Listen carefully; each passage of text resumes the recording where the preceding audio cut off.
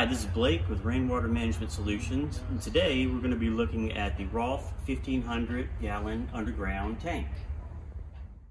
So the Roth tanks come in two sizes, 1060 gallons and 1500 gallons. Both of them will have one opening on each end.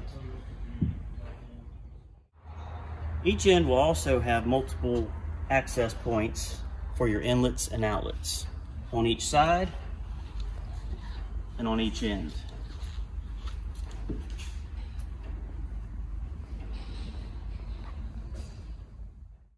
You will notice that on one end, it is marked inlet on both the end and the sides. On the opposite end, it will be marked outlet. Over there. Before plumbing your tank, it is important to determine which end and which side you will need to come out of with your piping. Before beginning, it is important to remove both lids, which screw on or up.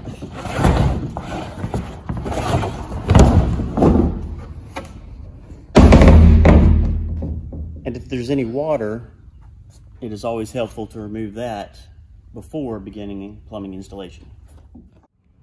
Once we've determined which side or end we want our inlet on, we're going to install our smoothing inlet.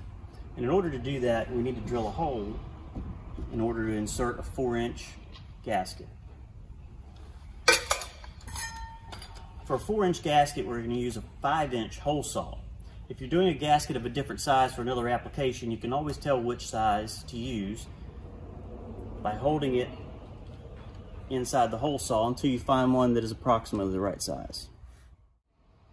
For the smoothing inlet, you'll notice that there are two hole dimples already in the tank. For this application, we're going to use the lower one. So we use our pilot tip right onto that hole.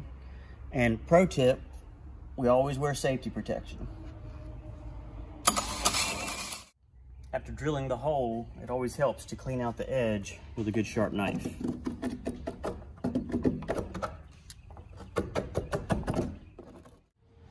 Once your hole is clean, you can insert your four inch gasket.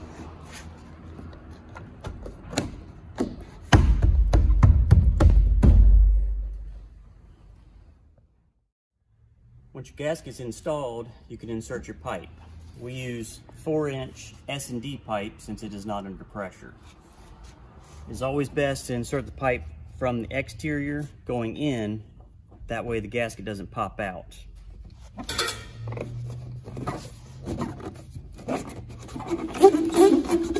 Pro tip, if you wiggle the pipe as you insert it, it goes a lot smoother.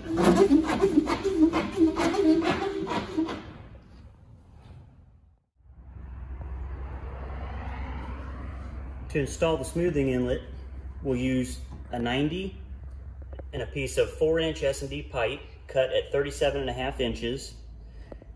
We'll glue the 90 to the inlet.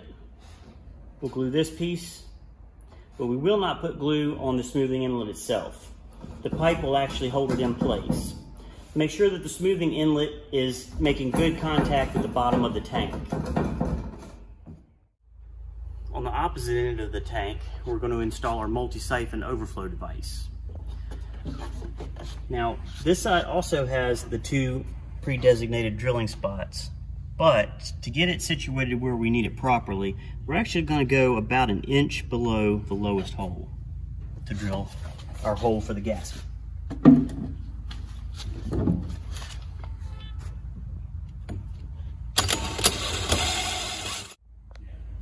After inserting your four inch gasket, we're gonna put another section of pipe,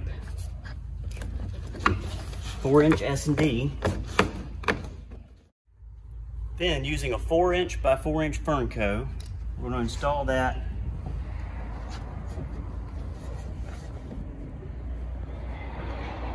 onto the multi-siphon device until it is approximately halfway into the Fernco.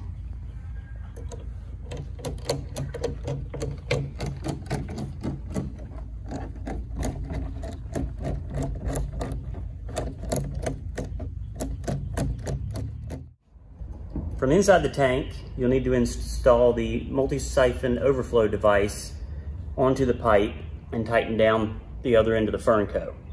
Make sure that the stabilizing brace below is making good contact with the tank. This will keep the multi-siphon device from tipping and not allowing the water to flow properly.